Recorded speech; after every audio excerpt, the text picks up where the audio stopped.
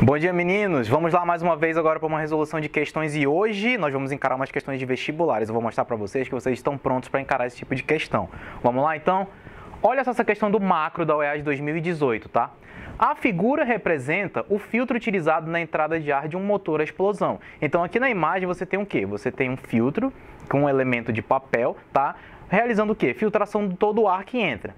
A escolha desse equipamento para realizar a limpeza do ar, utilizado na queima do combustível, é adequada, uma vez que o ar é classificado como uma mistura. Gente, essa questão aqui, ó, usem a lógica de vocês. Vamos lá.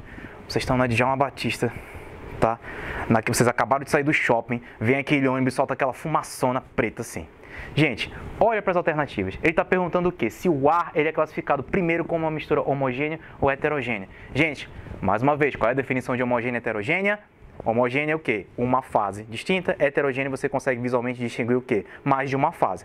Bate o olho na fumaça que saiu do ônibus. No ar atmosférico que vocês respiram, vocês conseguem distinguir mais de uma fase?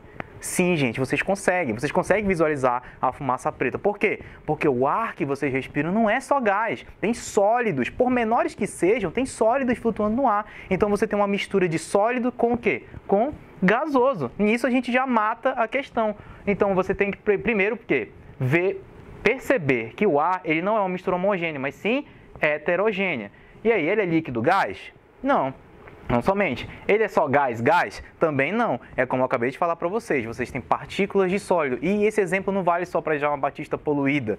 Se você for na natureza, você tem várias partículas, elementos químicos sobrevoando ali em mistura com o ar atmosférico. Então, gente, para essa alternativa aqui é só uma questão de lógica. Se fosse só gás, gás ou líquido gás, esse filtro não serviria de nada. Aqui, ele está aqui para filtrar o quê? Partículas sólidas. Então, por conta disso, o ar é considerado o quê? Heterogêneo, sólido, gás. Por isso que existe esse filtro, para filtrar essa parte sólida. Então, gente, viram como a questão é simples, não é um bicho de sete cabeças, então eu fico esperando vocês para a gente resolver a próxima questão. Abraço!